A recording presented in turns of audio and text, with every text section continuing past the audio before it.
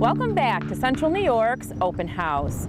Previously on our show, we introduced you to the Mohawk Valley Water Authority. We took a look at the treatment plant and all that goes into providing you high quality water.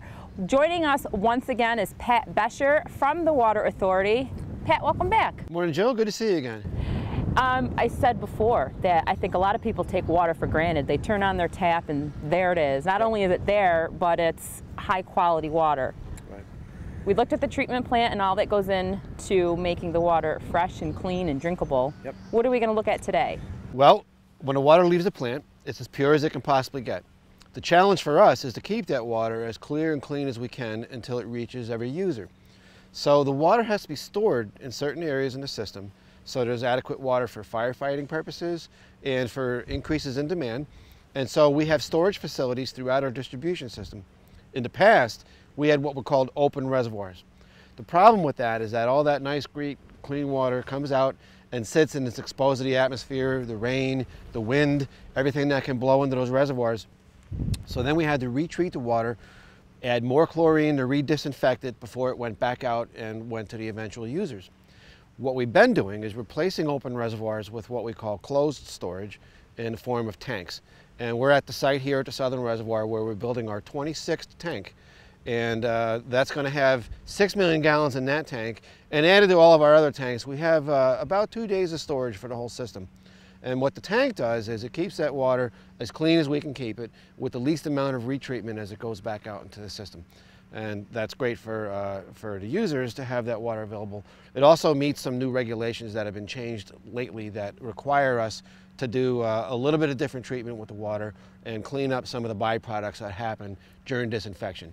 And one of the ways we do that is by using less chlorine and uh, mitigating the need to rechlorinate by having that water stored in that tank. So what is going to happen to these open reservoirs now that you have the tanks?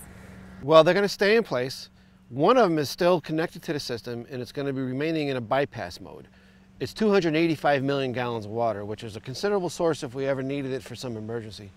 It's not in active use, but if we ever had to draw off it in the future, we could with a boil water advisory or a do not drink use, but at least it'd be water for firefighting and household general uses. Um, but it, it, in bypass mode, it'll stay in place. But for now, uh, all the water from the users will be coming off the tank itself the water will circulate daily right through the tank. It stays nice and fresh. What about the other two? Um, one of our lower reservoirs here, we're not sure what's going to happen with it. The third one is not in use at all and will be drained and could be used for other purposes like stormwater management and things like that.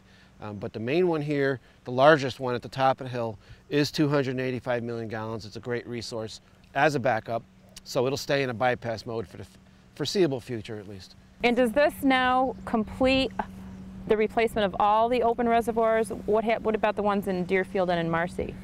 You're right, this completes the entire process. We are in full compliance with all EPA regulations and the reservoirs at Deerfield and Marcy and now here at Southern Reservoir are completely replaced with closed storage rather than open reservoirs. And as I said, they are in bypass mode, they're available for emergencies, but they're no longer in active use within the system. Pat, thank you for joining us once again. Coming up after the break, we'll take another look at the water tank being built here at the Southern Reservoir, and we'll talk to Dick Goodney, the Director of Engineering with the Water Authority. We have 40,000 accounts in the system.